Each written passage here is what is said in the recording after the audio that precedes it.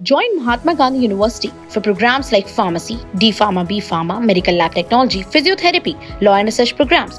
For admission, call 8800697058. आज अंतर्राष्ट्रीय योग दिवस है। हर वर्ष 21 जून को विश्व योग दिवस मनाया जाता है। इस बार अंतर्राष्ट्रीय योग दिवस 2023 वसुधैव कुटुंबकम के लिए योग के थीम पर मनाया जा रहा है। विश्व योग दिवस के मौके पर आज भारत सहित विश्व भर में योग कार्यक्रमों का आयोजन किया गया है। योग को आज पूरी दुनिया अपना रही है। योग ने लोगों को स्वस्थ ही नहीं बल्कि मानसिक रूप से भी शांति देने का काम किया है। योग का महत्व अगर आप कभी जानना चाहें तो आप इसके बारे में विदेशियों से पूछ सकते हैं। वे आपको ज़रूर बताएँगे कि योग उनके लिए कितना लाभकारी सिद्ध हुआ है और योग ने कैसे उनके जीवन को बदला है। योग ने लोगों के जीवन को बदला है और स्वास्थ्य को लेकर सोचने के तरीके में भी इससे काफ़ी बदलाव आया है। केवल एलोपैथी दवाओं के बारे में हम भारतीय अब नहीं सोचते हैं। केवल भारत ही नहीं, दुनिया के लोगों का एक बड़ा तबका योग से रोग को दूर भगा रहा है। भारत ने दुनिया को तोहफे के रूप में एक और चीज़ यानी कि योग दी है, जिसका लाभ आज पूरी दुनिया उठा रही है। योग से सेहत ही नहीं, बल्कि मानसिक शांति भी मिलती है। हर वर्ष की भांति इस बार भी 21 जून को योग दिवस मनाया जा रहा है और अंतर्राष्ट्रीय योग दिवस के मौके पर पूरी दुनिया में योग कार्यक्रमों का आयोजन किया गया है। Team South Block digital.